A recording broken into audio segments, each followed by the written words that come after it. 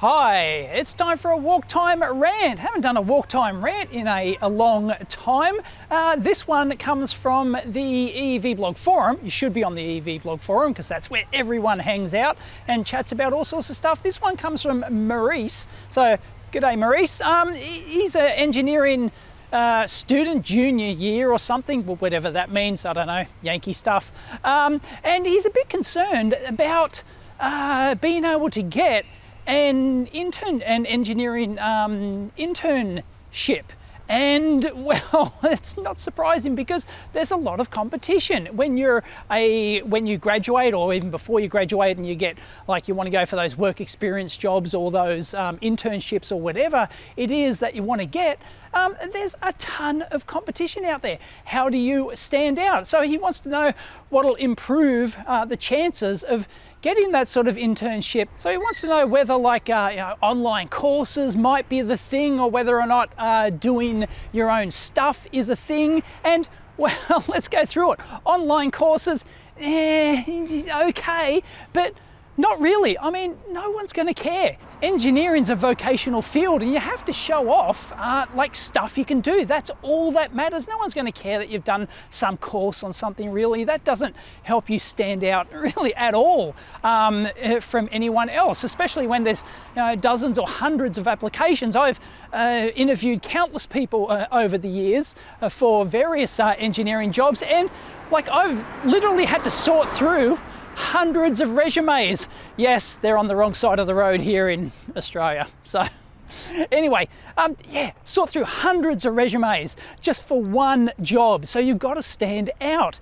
And the way you do that is, of course, by being uh, showing off that you've done your own projects. And online courses and things like that adding padding your resume with various things like that might be okay but it's not going to be the killer thing that's going to land you that job. The first thing is going to be your enthusiasm of course. So if you show that you're really enthusiastic then well that's going to help a lot especially when you get to the job interview things like that. But that's hard to come across on your resume but not impossible to come across if you link to things that you've uh, published, for example, uh, whether it be like a WordPress blog or something, uh, YouTube videos and things like that. If you show that you're actually producing content and stuff like that, then, well, that shows that you're super enthusiastic about this sort of stuff, and that's gonna make you stand out. Like, guaranteed, you'll get top of the pile. So the first thing you've got to do is find out what interests you because if you're not interested in the stuff that you're working on, then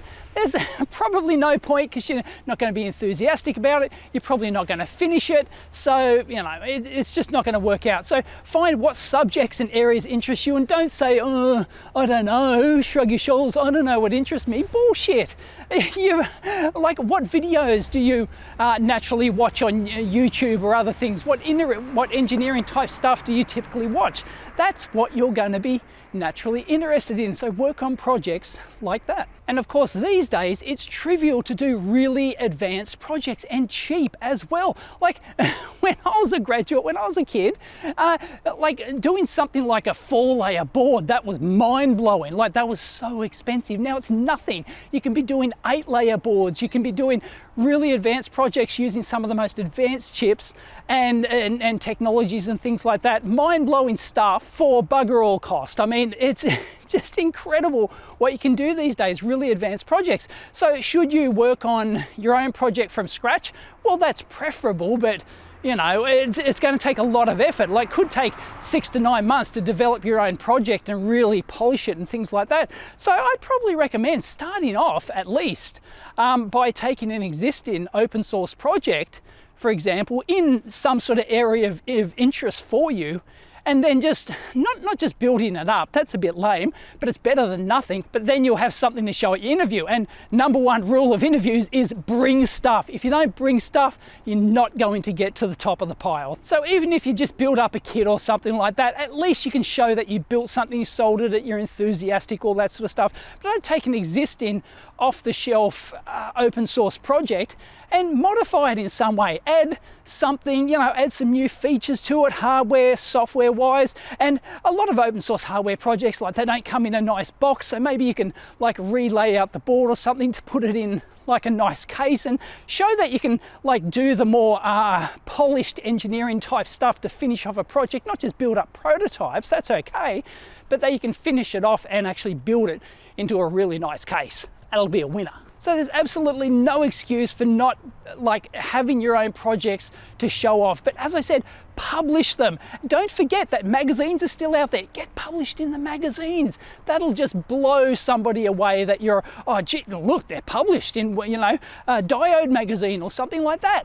Winner, winner, chicken dinner. It's as true as it was 30 years ago for me getting published as it would be for you now. It's exactly the same. So yes, get those projects published. Uh, whether I highly recommend like YouTube videos so people can see what you're on about. But if you're not very good on camera, you're not very good with voiceover or something, well, just like uh, uh put a lot of effort into publishing and documenting stuff. Documentation's fantastic. If you can show people that you can document stuff, that's a very valuable skill in the industry. A lot of people just like can't do it. They're crap at it. If you can show that you're really good at documentation, wow, that's going to be great. So that's how you stand out from everyone else, doing your own stuff, showing it off in some way, not just because it's uh, one hurdle already to get to the interview. So it's great if you build up your projects and stuff like that and you get to the interview, you can show them off. But if you can't even get to the interview because, well, you haven't uh, communicated well on your resume or something like that, but if you put right up the top of your resume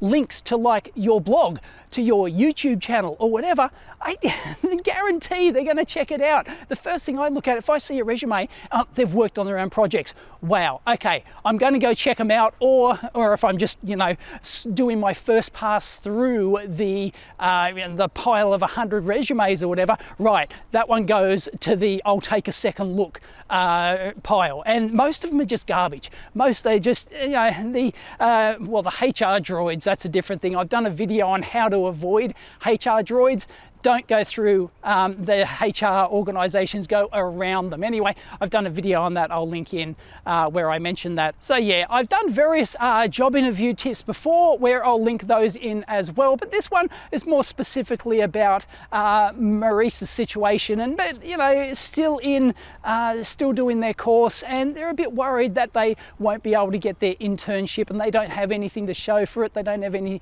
way to stand out. It's so easy to stand out these days. Yes, it's it's going to require effort. It's not easy, you know. Spend the next three months, six months working on just one project. All you need is like one really good one that you've contributed uh, to. It's good to like contribute to open source hardware projects, but I'd, I'd probably, you know, you can just write down, look, I contributed, or you can do photos, document everything. That's the thing about it, so that you have a link that you can actually point people to to show off your content. And show you this. I don't know what's happening with this building, but uh, geez, Check it out. They're really gutting that thing. Not sure what's going on there. Anyway, I hope that's uh, answered Maurice's uh, question anyway and given others some food for thought about how to stand out from the rest of the pack because you don't just want to graduate with your degree and have nothing else to show for it. Whoop-de-doo. Nobody cares if you've got the university medal. Woohoo! Nobody cares if you've uh, done these other online courses. Really, it might help a little bit, but yeah, no, generally nobody cares. What have you done? Engineering is about what have you done, what can you do, what problems can you solve, how can you help them out. That's what it's all about. So anyway, I hope you found that useful. If you did, please give it a big thumbs up. As always, discuss down below. Catch you next time.